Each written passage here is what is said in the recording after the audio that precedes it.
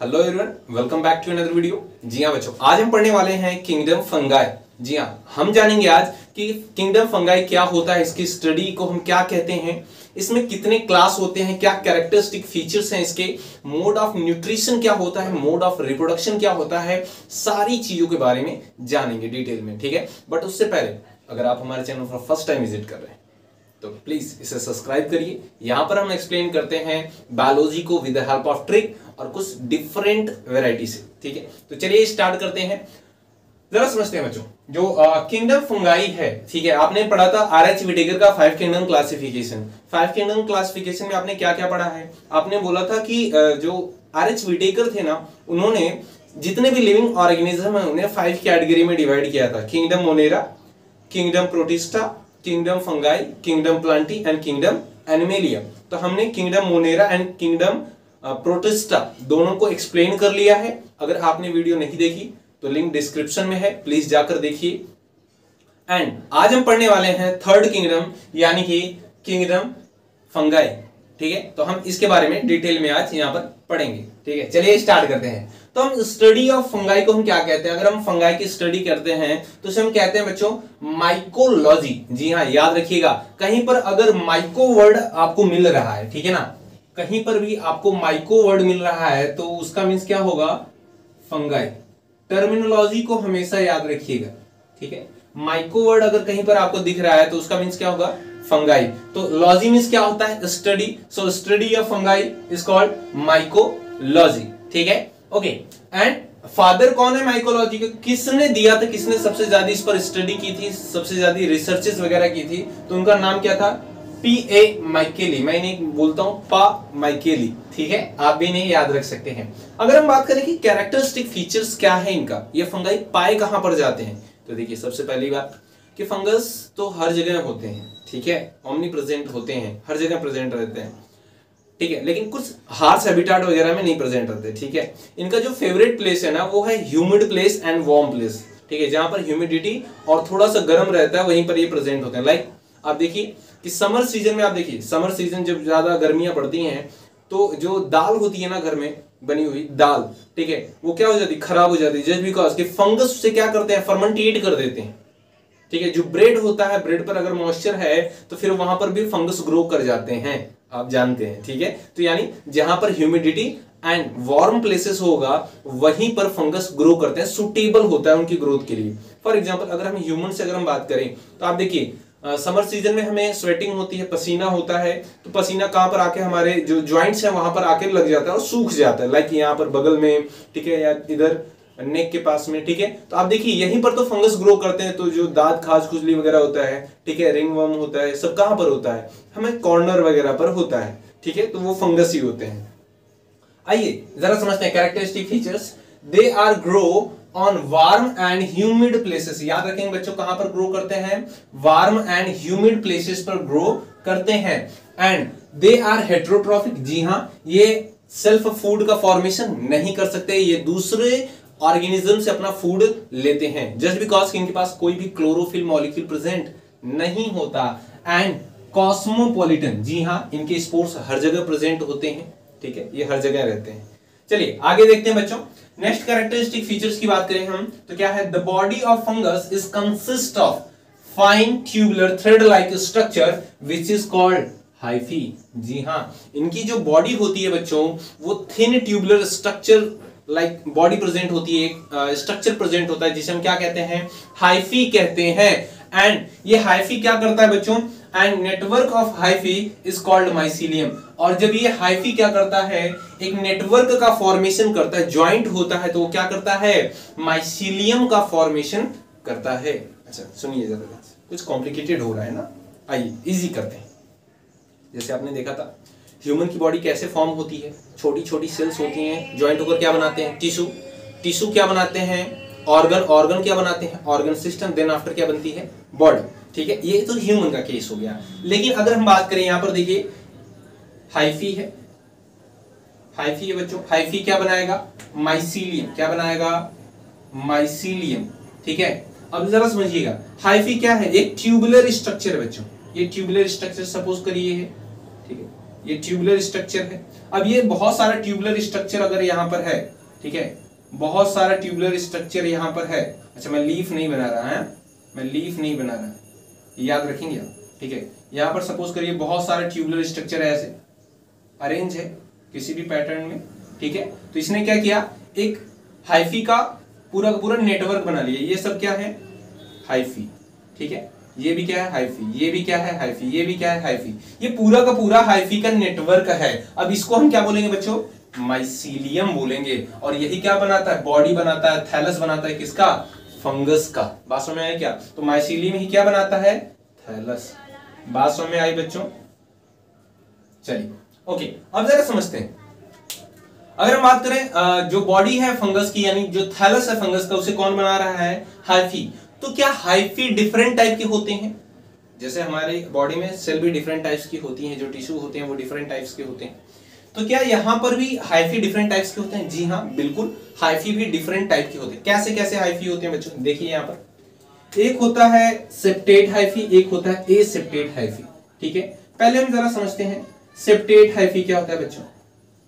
Septate hyphae क्या होता है? ठीक है? यहाँ पर देखिए, बहुत सारे न्यूक्लियस प्रेजेंट है, बहुत सारे न्यूक्लियस प्रेजेंट है।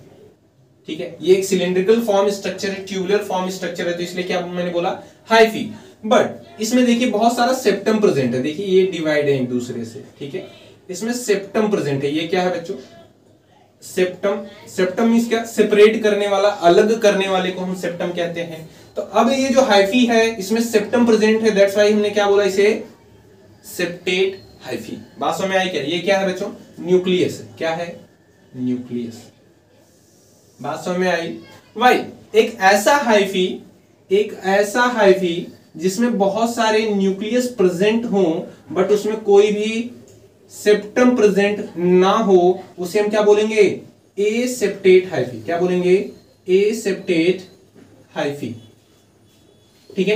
ए मीन्स क्या होता है बच्चों? एबसेंट होता है। सेप्टेट मीन्स सेप्टा ठीक है? इसमें सेप्टम एक ऐसा है फ़ी जिसमें सेप्टम एबसेंट होता है। उसे क्या बोलेंगे?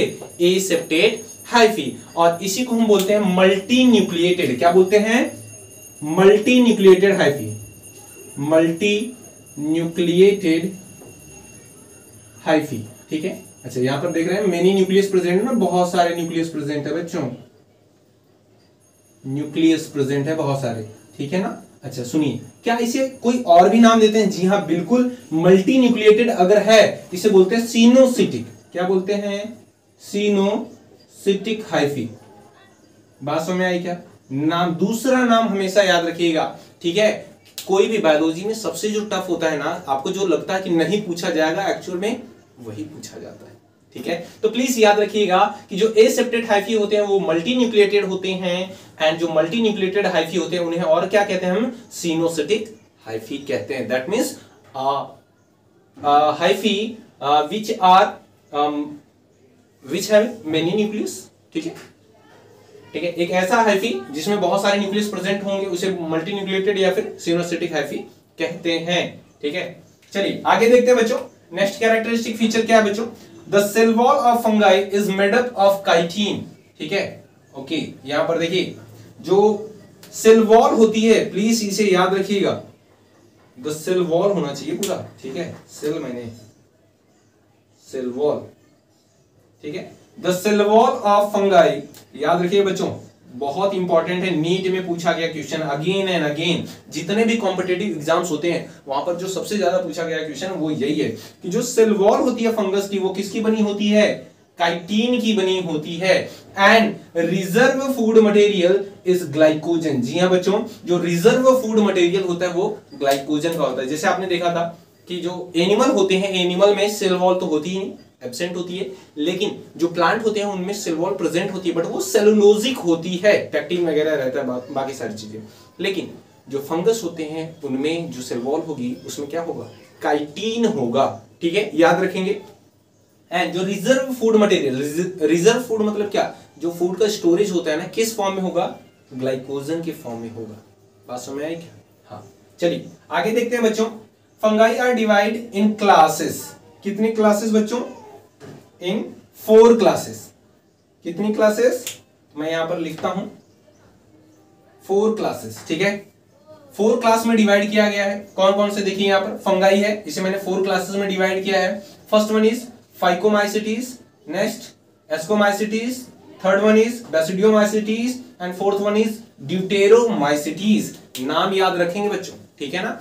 एंड जो फाइकोमाइसिटीज होता है, इसे हम क्या बोलते हैं? एल्गल फंगाई याद रखिएगा। बहुत ही इंपॉर्टेंट है। सेकेंड वन जो एस्कोमाइसिटीज है, इसे क्या बोलते हैं? सेक फंगाई बोलते हैं। थर्ड वन बेसिडियोमाइसिटीज को क्या बोलते हैं? क्लब फंगाई कहते हैं। एंड ड्यूटेरोमाइसिटीज को क्या बोलते हैं बच्चों?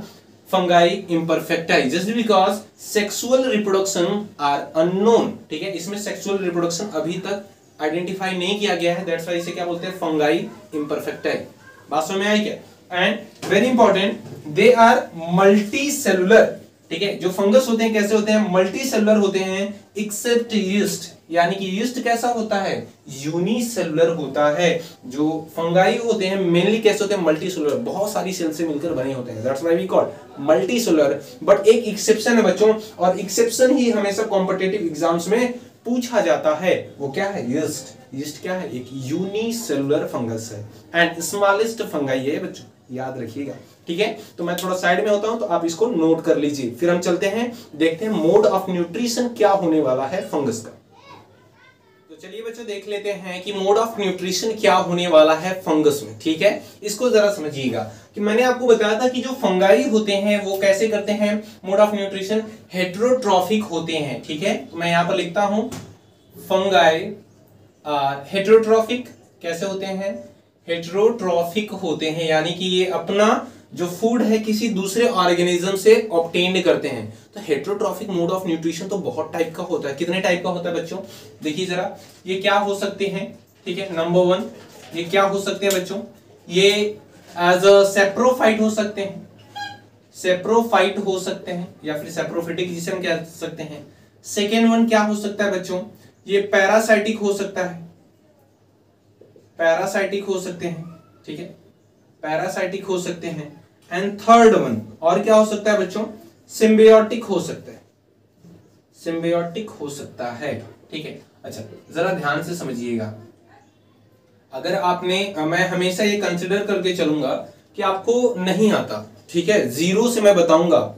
देखिए टाइम टेकिंग ज़रूर होगा, लेकिन आप चीज़ों को अच्छी तरीके से समझ लेंगे। साथ ही साथ आपको रिवाइज भी होगा ये सारी चीज़ें कॉन्सेप्ट ठीक है? तो पहले हमें समझना पड़ेगा सेप्रोफिटिक कंडीशन क्या होती है या फिर सेप्रोफाइट्स हम किसे कहते हैं? जरा समझिएगा। The organism the organism which grow which grow on dead और decaying decaying organic matter organic matter matter is called saprophytic saprophytes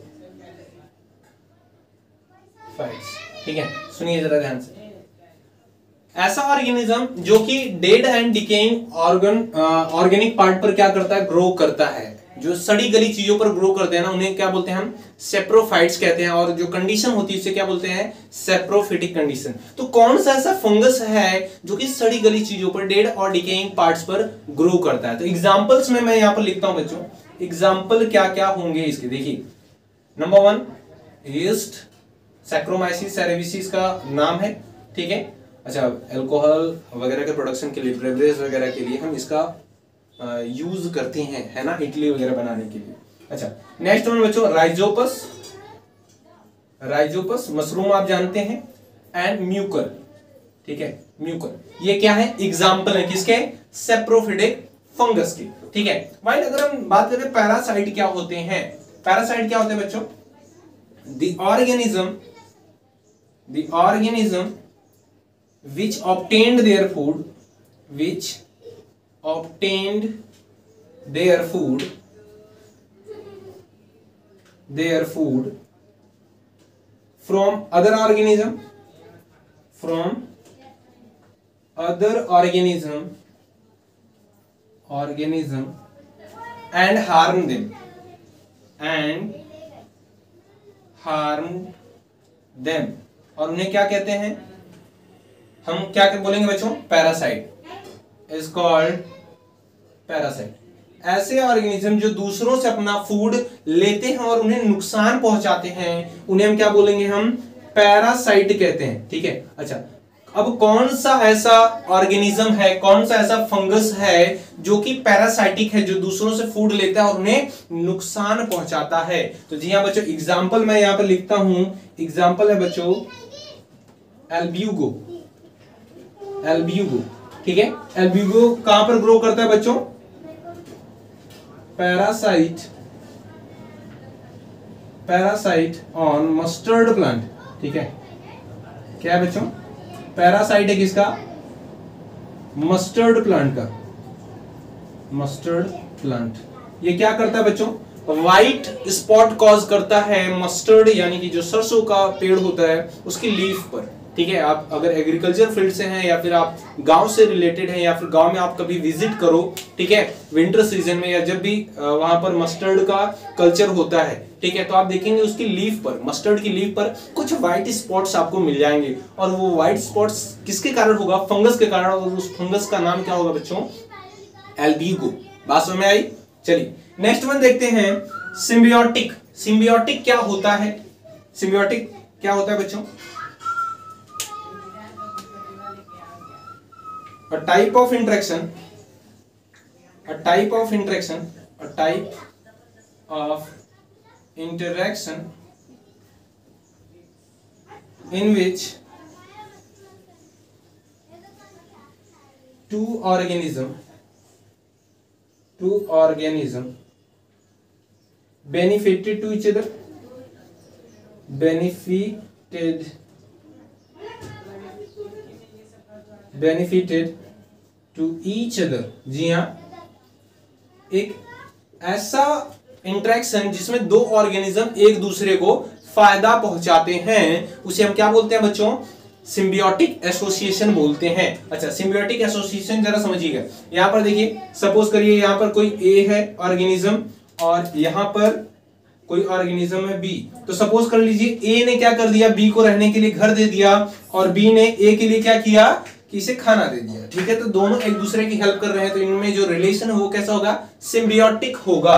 तो कौन कौन से ऐसे हैं जो कि सिम्बियोटिक रिलेशन शो करते हैं? फंगस ठीक है? तो number one is lichen lichen क्या है? सिम्बियोटिक एसोसिएशन है किसका? फंगस का। And second one is mycorrhiza mycorrhiza ठीक है? अच्छा जो फंगस होता है बच्चों, ये किसका किसका सिम्बियोटिक एसोसिएशन है? फंगाई प्लस एल्गी ठीक है?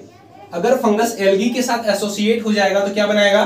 लाइकेन वाइट अगर फंगाई जी हाँ fungi plus root of higher plant root of higher plants जी हाँ अगर हायर प्लांट्स की अगर रूट है और फंगस है, दोनों एक दूसरे के साथ एसोसिएट हो गए तो क्या बनेगा? माइको राइजा एग्ज़ाम्पल से याद कर लीजिएगा।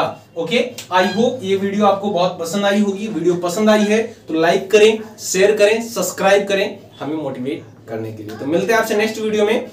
एक नई इंफॉर्मेशन के साथ, अगर आपको कुछ भी समझ में नहीं आता या फिर किसी पर्टिकुलर टॉपिक पर आप वीडियो चाहते हैं तो नीचे कमेंट सेक्शन में मेंशन करिए।